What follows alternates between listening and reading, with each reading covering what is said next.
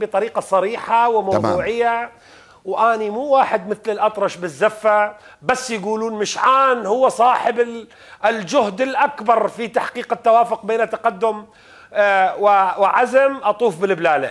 أني مو هذا الشخص. أني أعرف إن هذا الأمر لا شغل مشعان ولا شغل ما أدري منه وحجم الخلافات كان كبيرا وال والشتائم بيننا كانت كثيرة و العامل الخليجي شنو يا مو العامل الخليجي والعامل التركي قاعد يحود بنا مثل ما يؤثر على الآخرين أو هناك مندوبين من أجهزة مخابرات قاعدين في بغداد أو قاعدين عندنا بالشرقاط ولا قاعدين بالرمادي يقولون لنا شو تسوون. الامر مو هكذا أنا دا أكون معك صريح العامل الخليجي والتركي اتفقا على أن يدفعونا باتجاه التوافق. نقطة السطر العامل الإيراني يعمل على أن لا نتوافق بشكل واضح وصريح. ولذلك العامل الإيراني شغل علينا سنة إيران حتى يخلونا ما نتوافق ويطبون منا أنا ويانا ويطبون منا أنا ويخلقون مشاكل وفتن بيناتنا. والعامل التركي والعامل الخليجي آه، يعني جمع الرؤوس وبشكل ما أعلن. محمد الحلبوسي وخميس الخنجر اجتمعوا بضيافة الرئيس أردوغان قبل ما نتحدث عن أي توافق وقبل إعلان نتائج الانتخابات.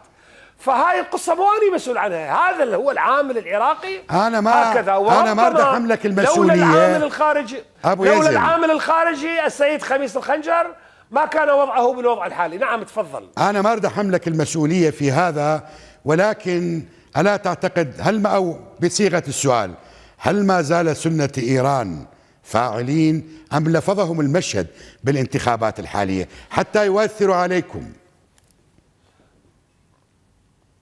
سنة إيران أصبحوا نصف يعني خسروا نصف مقاعدهم في البرلمان الحالي ولكن بعدهم موجودين بعضهم استطاع أن ينجح بما سرق وبما نهب. ودخل الانتخابات ليس على أساس هو جزء من المشروع الإيراني وإنما أو عميل لإيران أو صديق لإيران أو حليف مع إيران. نحن لسنا ضد إيران على فكرة بس توضيحا لجنابك ونحن نحترم المصالح الإيرانية ونعتقد إننا علينا أن نستنبط ونبحث عن كل ما يجمعنا من إيران مع إيران. ولكن أيضا بذات الوقت نعتقد إن إيران تدعم حلفائها من السنة على حساب الآخرين وتريد أن تفرض علينا أشياء قد لا نتقبلها إحنا أنا شخصيا كمشعان الجبوري لست من أعداء إيران. أنا ضد النفوذ الإيراني في منطقتي وضد ما تقدمه من دعم لبعض رموز الفساد وآفاته التي دمرت محافظاتنا الغربية.